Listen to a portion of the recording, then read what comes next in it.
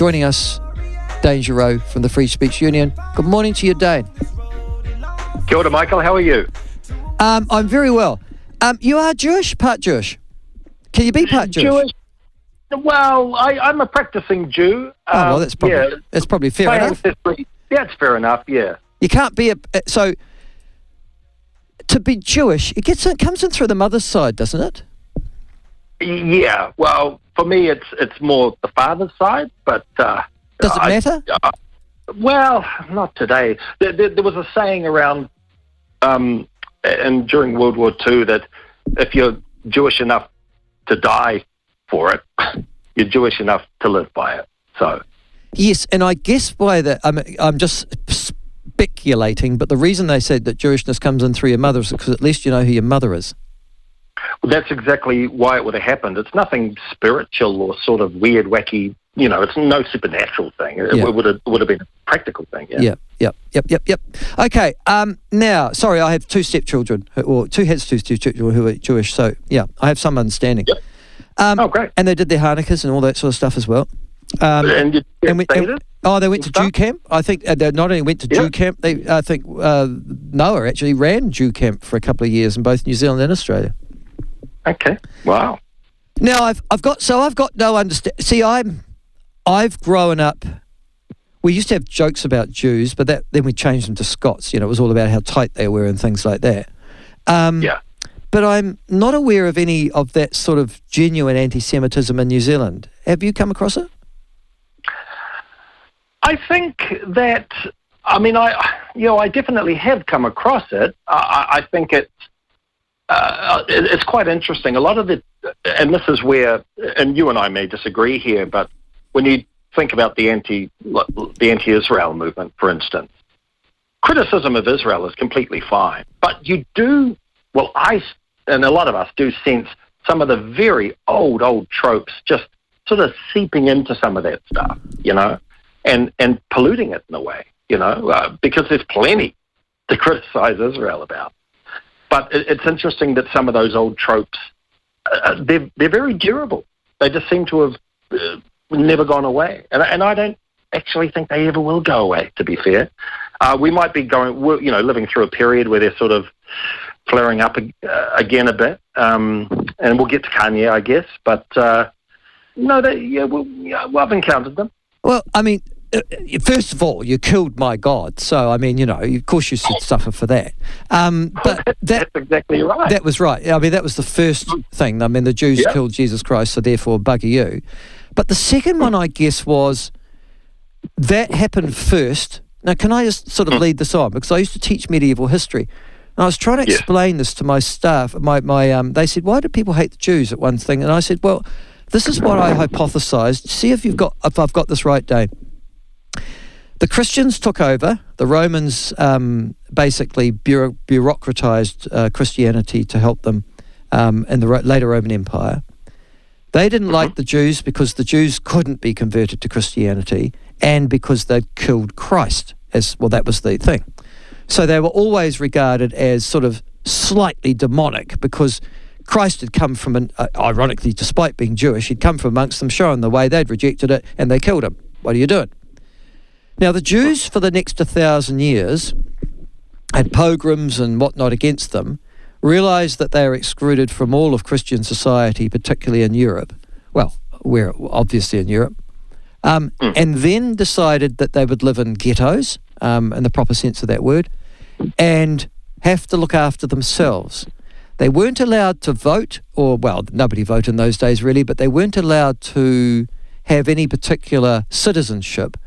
So they got into, and they weren't allowed to own property, as I understand, either, for there for a long time either, because they were Jewish. So they got into money lending and they got into financing and then they got into commerce and evolved a culture around money, essentially. Have I got that right? I don't know uh, if that's completely accurate. I, I would. I mean, there was. Uh, uh, I don't think uh, Jews chose necessarily to live in ghettos. But, no, but, but, the they other, did because the they had to, it was self protection. I mean, it Well, was it was easy to get killed in a village if you were Jewish and the rest of them are Christians, and suddenly they blamed you. Sure, but the, sure, but these countries are very. I mean, you know, are we talking about Eastern Europe? Are we talking about France? I mean, these are. I, I think it's uh, all these countries would have been quite different, and they would have operated very differently. Like yes, Napoleon, this was very progressive when it came to Jews. Oh, um, listen, but what I'm trying to uh, say is that Jewish became clannish, they became insular, they had their own culture. There wasn't intermarriage to a large degree. Um, and so, when, for example, Shakespeare wrote The Merchant of Venice, he was dealing with a Jewish character that all his audience would have known and identified, yeah? Well, uh, p- potentially a, a, stereotype of that character, but on money lending and things like that, there was there were limited jobs you could you could do. No, that's exactly well. the point I'm trying to make. Exactly. Yeah. Yeah. I mean, the, the, again, that wasn't necessarily a choice. Yeah. No, no, no, no. I'm not blaming anybody. I'm just saying no. this is how it happened. Um, yes. But then that, so that's fine. And um, and I guess um, when Shakespeare wrote Merchant of Venice, certainly in an English society, um, there was, I mean, at the same time, he had a lovely daughter, so, you know, he wasn't irredeemable. Can I just say, though, that then led to this protocols of Zion, the Jews are running the world sort of stuff, and then that's permeated right through to this present day, yes? Yes. Um, uh, could I just say on Shakespeare and, and Shylock, I mean, you can read it as an awful stereotype. Uh, and, you know, and Shakespeare is a man of his age, you know. Um, Othello can be criticized in that way too. But I mean, both those characters have beautiful poetry and, and um, uh, you know, I mean, Shakespeare is just so sublime. I mean, you do see the heart of Shylock. I mean, oh, absolutely. The, the speech, absolutely. You know, yeah. bleed, you know. I mean, that's I mean, it's a. Oh no, no. He was just so that you know. In my seventh form, when I was doing um, scholarship English, um, mm. I I portrayed Shylock as my anti-hero. He was, you know, he, he was right up there with Hamlet in my view. Um, yeah, he's yeah. Well, I mean, that, that's about Shakespeare's power, and he was probably smuggling in, um, you know, anti-bigotry messaging. Really, I, it was a very, I mean, yeah, just so fully rounded those characters. Yeah, they were. No, it was a wonderful. It's, Merchant of Venice is one of the greatest. Um, and here they are trying to ban it. Being good God. Um, anyhow, yeah. moving on. Yeah, yeah. Kanye West, though, is mm-hmm. a black recording artist who has assumed international popularity and fame, won numerous awards, and then his in relationship with Kim Kardashian uh, probably propelled them even further into the public consciousness, certainly in America. Um, mm. He, though, is a very strange man, um, seems to have had a breakdown, renamed himself, um, and has now decided that Jews run Hollywood, the record industry, uh, and things like that, and has been condemned widely as an anti Semite in that country uh, and hmm. because of that has now been banned. Now, you write in your column about how you and your son, who's I assume Jewish as well, um, yep. have been devastated by the fact that somebody you've admired, respected, and really liked their music of could hate you mm. as a people and a culture. Yes? Yeah. I don't know if I ever really respected Kanye, but I appreciated the, his music. I do think in, in that medium, he, he, he is definitely a great. Yeah. Right. But so, but as so you're you're the last person I would have thought that would be talking to me now about why Kanye shouldn't be banned from New Zealand radio stations. Hmm. Why? Well, why shouldn't he be? Well, because look, I, I do accept that private company can disassociate from whoever they please. You know, uh, sometimes it's really good business to do, to do that, you know, and we and we would never. I'm talking for you know for the Free Speech Union here, To, like try to get involved to say, hey, you know, you can't disassociate from someone that a private company wants to disassociate from. But I think that when you start banning music, because I was talking very specifically about the music, you're actually punishing the fans at that point. And and I think then you get into real trouble. Then you actually do more harm than any perceivable good. You know what I mean? Because who who pays for that? And this and, and this is the thrust of my piece. A, a lot of people who are pro censorship. I feel the people that I encounter on Twitter or you know that I just get into debates with or just sit down across the table from and, and discuss. A lot of them, you know, their heart is in the right place, but they're not necessarily from communities like our, you know. Um, they're just Anglo-Saxon, you know, people, and that's fine. And like I say, their heart's in the right place. But there is a consequence for censorship. You know, you can't just ban your way to cohesion and, and, and ban your way to no racism. It doesn't doesn't really work that way. And so by removing his music, I mean, his whole uh, he's been inspired by this group called the Black Hebrew Israelites, which is a pretty wacky group over in America. And, and sure are. They're weirdos. Well, lot, really weird. And, and, and there wasn't a lot of press for it here. There wasn't actually even that much press for it in America, which is a bit of a shame. But in New York, about three or four years ago, there were just random stabbings of, of identifiably Jewish people by these by these um, black Hebrew Israelites. Like they they're quite militant and nasty, like seriously nasty. Um, you know, they they can get that way. So they they've influenced him and um, Kyrie Irving too. There, there's a, a documentary out um, uh, and, and, they claim to be the lost tribe of, of Jews. They yes. claim to be the real Jews. Yes, just know? to explain to our listeners, uh, the Black Israelites are a sect. Um, they actually believe, I mean, it's hard to believe, but they do, that they are the true Jews. Um, yeah. And that somehow you white guys, you've just usurped them from their true, from their true role as the, yeah. the yeah. Um, I, I, don't know what they think we. Well, they might. Do they? Um, yeah. I mean, I don't know whether they think we're fake or we're we're impossible. I don't know what's going on. Well, you're the wrong colour to start um, with. Yeah, yeah, yeah. That's right. And you got far too much money now, which is the argument that uh, Kanye West said. He actually said mm. that um, basically Jewish people, that's white Jewish people, were exploiting mm. black artists, um, and that uh, the whole music industry was uh, under the control of Jewish things. That wasn't so bad. You might get away with that. Um, but then he Marlon said. Brando said something quite similar. Yes, actually. that's right. Um, yeah. yeah. yeah. I mean, yeah. yeah. Uh, but then he put out a tweet, uh, which, you know, this is what happens. You know, I say this Donald Trump, that just take his phone away from him. Um, he says, I'm a bit sleepy tonight, but when I wake up, I'm going DEF CON 3 on Jewish people. Yeah. The funny thing is, I actually can't be anti Semitic because black people are actually Jew. Also, you guys have toyed with me and tried to blackball anyone who opposes your agenda. Um, so, DEF CON 3 suggests uh, violence and quite significant violence against Jewish folk. Is, is that the understanding yeah. I've got from that tweet? Oh, yeah. I mean, I, that, I'd read that into it, sure. Right. Okay, and he actually said that KKK had a point about you. I think uh, he said that as well too in the past. So mm. But when I look at Kanye West, isn't he mentally ill? And isn't that what the narrative background to him is?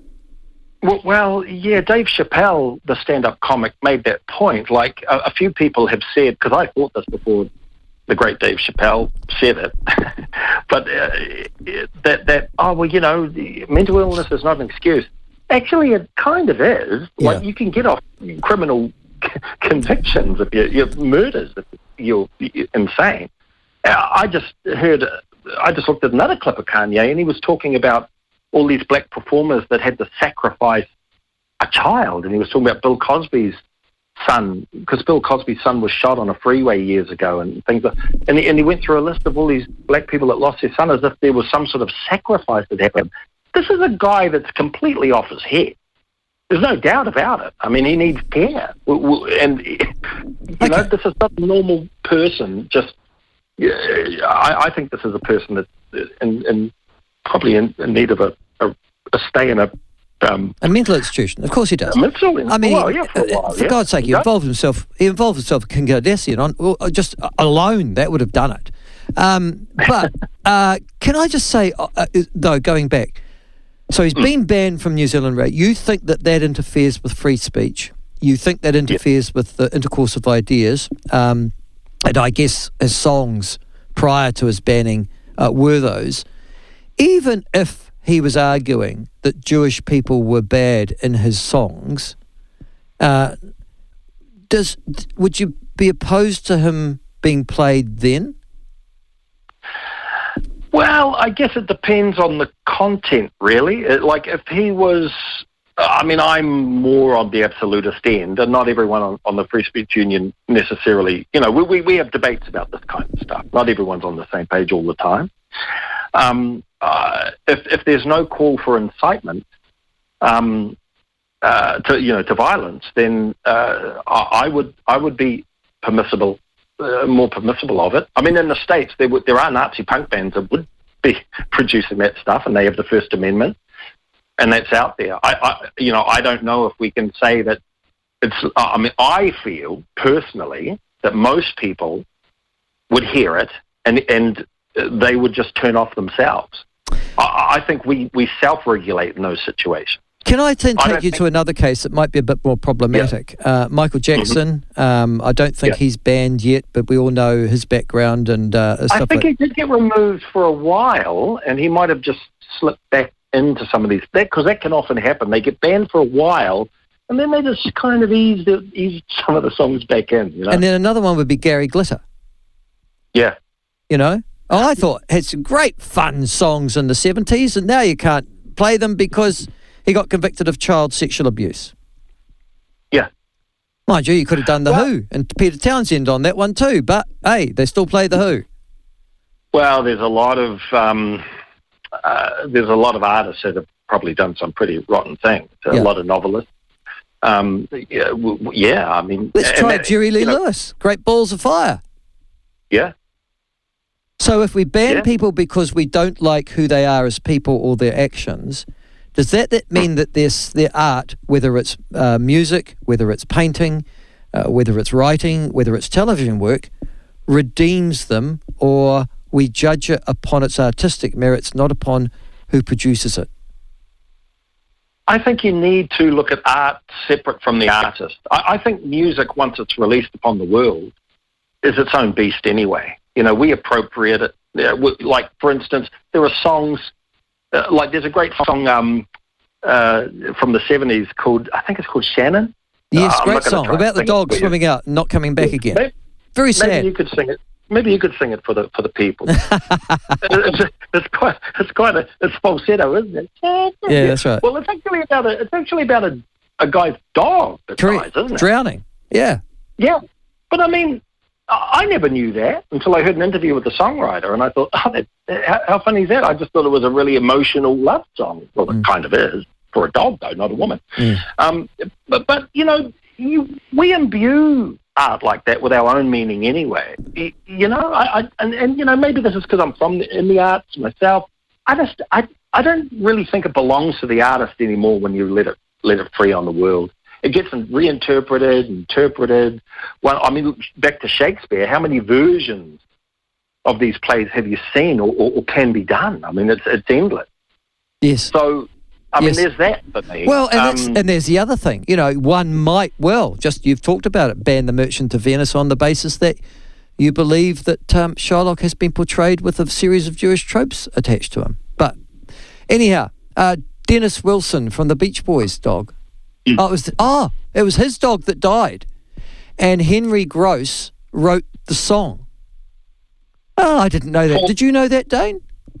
I, I didn't know that, but I've been hammering a Dennis Wilson album lately. Oh, there you go. Um, well, it was his dog that swam out Shannon and died, and, and the exploitation Dennis, of, of of Henry Gross to come along and write a best-selling song yeah. about it. I must. We must play that today. Yeah. Hey, Dane, thank you. I mm. wanted to get your so so in essence, your argument is don't ban people you disagree with because um, aspects of their work survive even them. Um, I, I, I, do agree with that, but I will add to that, and this is another thrust of the, the piece, is that if his argument is Jewish control, and all of a sudden, millions of fans can't find his music that they used to love. Yeah, good point. Yeah, I see this what you mean. The point. Yeah, we get it in the neck, and this is the part of censorship people never want to talk about. They, yeah. They'll say there's consequences for speech. It's like sure, there are consequences for censorship. who gets it in the even the hate speech laws that are coming up?